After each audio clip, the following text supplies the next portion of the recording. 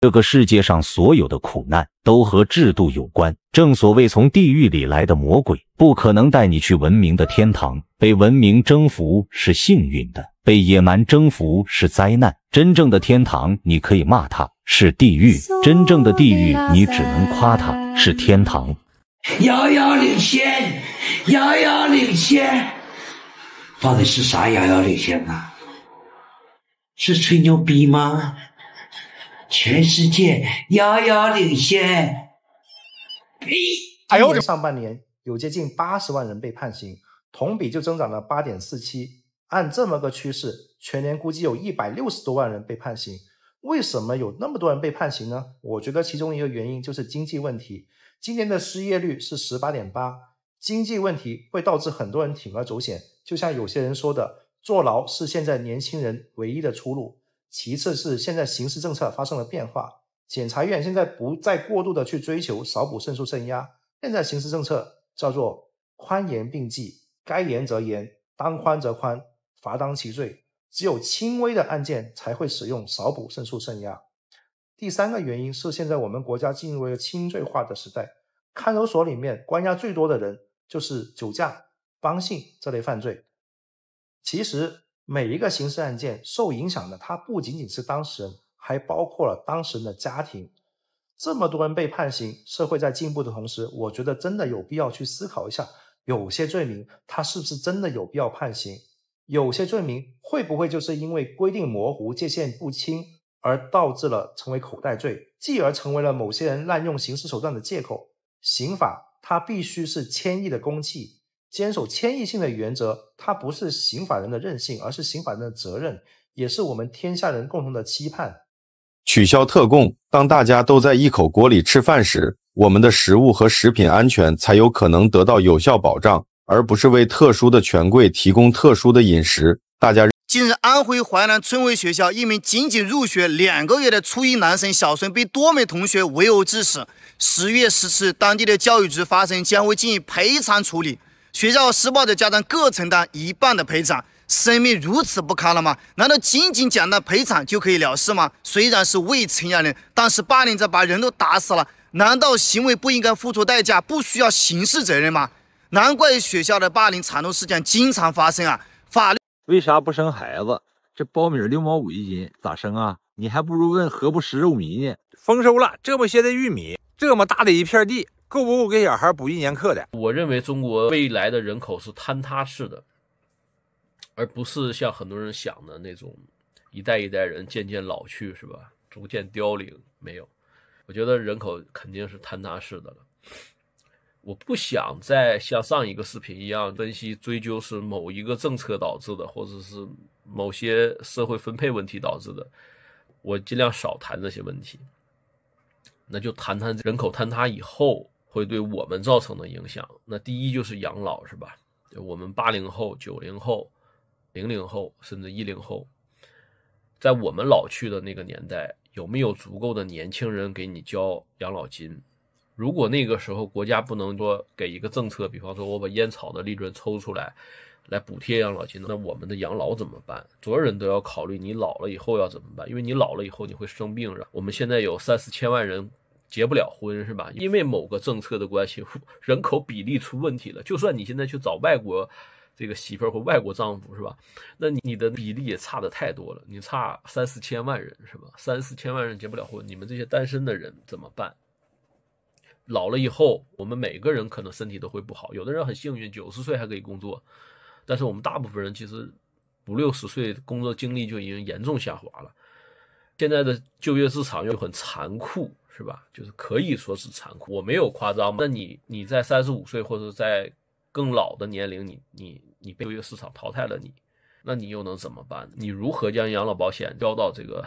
现在说六十三岁，将来还会延的，六十五、六十八，是吧？七十、七十三，中国的这种福利制度永远不会超过国外的。就是人家法国、人家日本都都六七十岁退休，你凭什么六十三？不要天真了，现在就很多人很天真，跟我辩，你知道吧？我身边很多就是这种犟种。还有一个问题就是教育问题，就是理想状态。我个人觉得理想状态是什么呢？将来人口减少了以后，教育变成小班制，现在一个班四十个孩子变成十五个，我一个班主任管十五个孩子，我还照顾不好他们吗？是吧？我我没没有这不不能是一种。第三个问题就是未来市场潜力的问题。现在人口明显坍塌了，是吧？不用我十年前说会坍塌的时候，没有人相信。我劝我那个朋友亲戚把那个幼儿园关了的时候，他觉得二胎政策开放了，他就可以飞起了。现在都大家都明白了，坍塌了是吧？没有人生了。那么将来年轻人少了，谁来消费？老人能吃多少东西？老人能游玩多少东西？就是老人的消耗其实是相对很少的，你知道吗？我们老了也一样。就我现在可以，就我一个月买一个三 A 游戏，是吧？我拿出我工资的多少分之一，我要消费，我要出去吃、出去喝，是吧？出去玩儿。老了以后还会这样吗？老年的女孩还会买那么多衣服吗？穿给谁看？走都走不动了，在家里坐着，好吧？就是这是这是这是必然的。市场又塌缩了，市场塌缩以后，你不寻求把这个社会赚得的利益分配给大部分底层的普通的老百姓，你让老百姓去消费，去觉得啊很安全，是吧？我的医疗有有医疗制度管着，我的养老有这个制度管着，我的这个权益有法律管着，我的一切有国家给我一个保护，是吧？我我所以，我赚的钱又够多，我就敢于消费。苏联其实一直想坑中国。一九五零年，苏联在不通知中国的情况下，同意朝鲜进行统一战争，这是世界历史上公认的阳谋。因为美军当时驻守在韩国，美军必定参战。如果战火烧到鸭绿江边，苏联认定中国军队必定顶不住美军的压力，而向苏联请求出兵。那时候，苏联一定会再次狮子大开口。万幸的是，中国人民志愿军顶住压力，迫使美军回到了谈判桌上。抗美援朝成为中国的立国之战，同时中国也欠下了大量的苏联债务。中国被欧盟封锁，被迫全面倒向苏联。在苏联眼中，中国应该能像东欧小国一样被苏联控制，所以不断提出有损中国主权的要求。一九五八年一月提出建立长波电台，八月提出组建联合舰队，均被我方拒绝。苏联的大国沙文主义在其仆从国面前向来说一不二，觉得伤了面子。于是，一九五九年六月，苏联单方面撕毁了与我方的国防技术协定。八月，中印爆发了第一次边境冲突，苏联发表了偏袒印度的声明。一九六零年七月十六日，撤走在中国的所有专家，带走所有资料，导致新中国几乎所有的重大项目停摆。又利用中国的自然灾害，迫使中国还债，致使中国损失惨重。到一九六四年，我们才用实物还清了所有苏联欠债。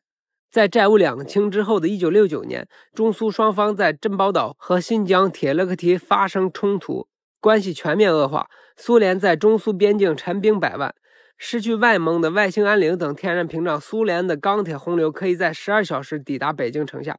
中国为此做了最坏的打算，上百万解放军战士在中苏边境驻防，同时四百万技术工人在西南、西北崇山峻岭中开山挖洞做工业备份。这就是三线工程。国产药在国外呢卖六十五元，国内呢却卖两千三百元，而且最贵的时候呢卖到过三千元。这个药的名字呢叫做硫酸多年菌素 B，是一种抗生素。经过相关部门的调查发现啊，这种药的成本价在十几块钱，但是生产这种药的企业为何故意炒高价格呢？真是令人发指！为何要坑害国人？权力的本质是剥夺，而不是给予。你在街上随便找个人，给他一万块钱，叫他跟着我走，他一定不答应。但是用枪指着他的头，叫他跟我走，百分之九十九的人不敢拒绝。权力的本质，它就是剥夺。能剥夺的东西越多越重要，权力它也就会越大。一个骗了中国人几千年的谎言，没有一个人敢戳穿它。我今天就来戳穿它。都说世界上母爱是最无私的，你看看周围的人，有多少人在选择鸡娃和鸡自己之间选择了鸡娃？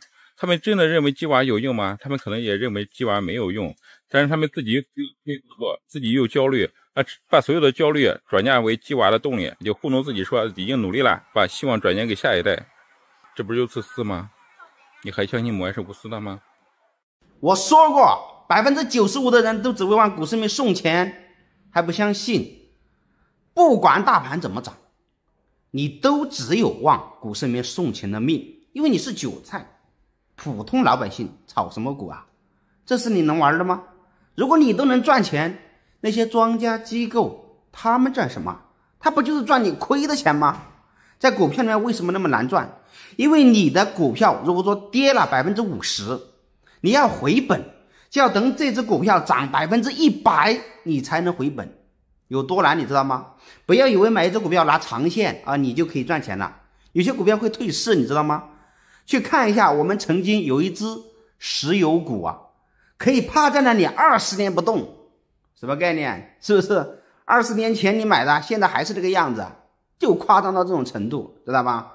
所以股票里面，普通人是没有资格玩的。老是有人给我抬杠说，还是有人赚钱的啊！我见过谁谁谁就赚钱了，我还见过有人买彩票中大奖的嘞。你怎么不去啊？两块钱的成本，五百万的回报率，这么大回报率你都不去，你还去炒股？炒什么股？普通人不要炒股，不要学技术。你们想一下。华为每年要招那么多的天才，为什么这些天才从小就智商一百六的人，他们为什么不去玩股票，还去当个工程师？当工程师不是打工吗？对不对？搞科研呐，搞什么这这个这个什么创业呀？那这些不都是为了赚钱吗？当然了，有些人还是有崇高的理想啊。但是赚钱是这个世界上公认的，对不对吧？那为什么这些天才、这些数学家呀，甚至搞火箭的？为什么他们不去炒股呢？是不是？炒股有那么难吗？对于他们来说，就那么难。我告诉你吧，啊，你的智商可以一百五，但是我告诉你，在股市里面照样亏的你，老妈都不认得，是吧？是不是这个道理？我跟你讲，很多时候玩股票，你的盈率不如你去澳门。国企职工吃空饷十六年，发现以后不是给开除啊。而是让他返回原岗位，赶紧回去上班去。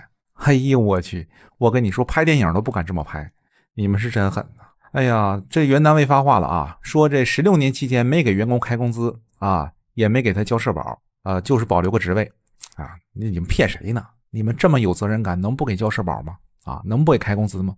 但是我估计啊啊，要么有两种可能，你们开那工资啊，压根就没开到他们手里。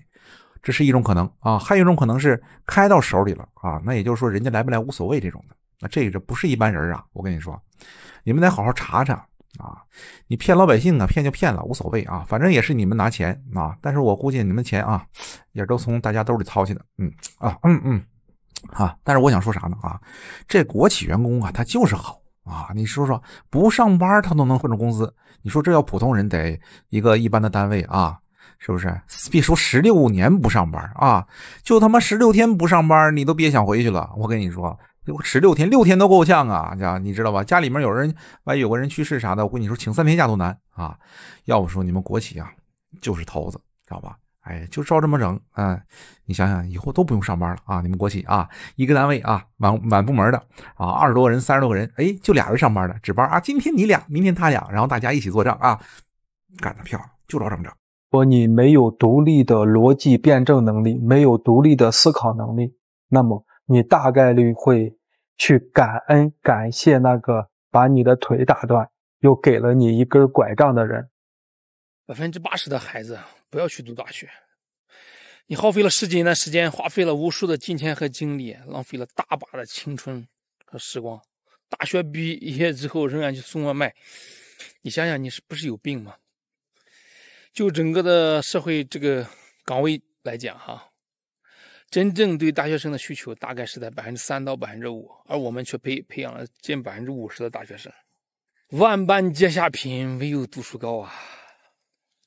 害了多少人，是吧？实际上，我想说的是什么？对于百分之八十的孩子来说，啊，最好的出路啊，是学一门技术加外语，啊。而且这门技术呢，就是说，对未来 AI 社会来说，它是要靠动手的和情感方面相融的这种技术，技术加外语，尤其对未来 AI 时代来说，哈，将会王炸般的存在。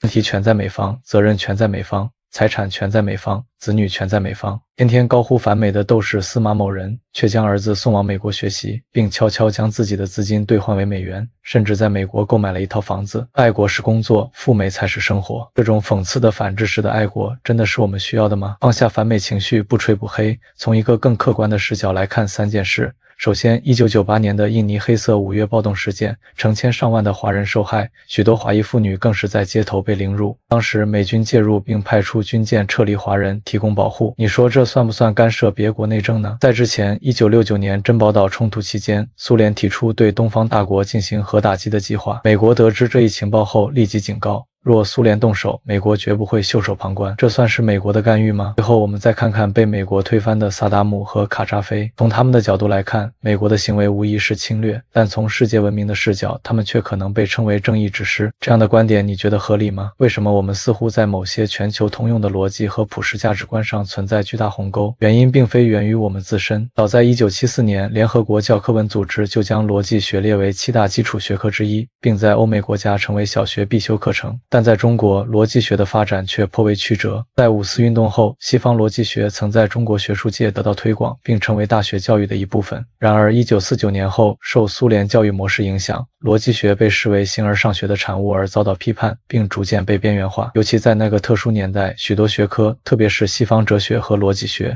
均被视为资产阶级思想，导致研究几乎停滞。尽管七十年代逻辑学曾短暂复苏，到了八十年代末又陷入低谷，至今仍未得到应有的重视。我们知道，逻辑思维是一种比常识更稀缺且宝贵的能力。穷人的钱好骗，不好赚；富人的钱好赚，不好骗。在我们这片土地上，财富累积最快的方式，从来都是财富转移，而不是创造。给你讲个故事，你就明白了。在很久以前，我们家附近市场来了一个乞丐，端着碗，挨家挨户的去要钱。最开始给钱的人不多。他就把给他钱的这些人的家庭地址都挨个的记了下来。等到晚上呢，他就开着豪车挨家挨户的去还钱，而且呢是十倍的还。别人给他一块，他就还十块；别人给他五块，他就还别人五十块。等到第二天呢，整个市场都传开了，他还是用同样的方式端着碗去要钱。不同的是，这次给钱的人变多了，给钱的额度也变多了。大家都在钱背后写下了自己的家庭地址，不到一个小时呢，乞丐就收到了好几万。等到晚上呢，乞丐依旧还是开着豪车，挨家挨户的去十倍还钱。到了第三天，还是同样的手段，这次不一样的是，满市场的人都在主动找他，给的也越来越多。不到一个小时，乞丐就收到了上千万的钱。大家都在钱后面写好了自己的家庭地址。等着他的十倍放缓，这次你猜怎么着？不用说，我想大家也应该明白了吧？等了三天三夜，乞丐再也没有回来。现实中套用这样的行业和项目比比皆是。你惦记的是他的利息，而他惦记的是你的本金。你以为你很聪明，最后其实你只是个大聪明。穷人一辈子都在占便宜，最后却被别人占了便宜。有人十年磨一剑，有人十年做一局。你知道现在深圳有多少人断供吗？我都不敢说，我怕被封。我就这么告诉你：假如断供了就拍卖，从现在开始拍卖十年都拍卖不完。其余的你自己琢磨。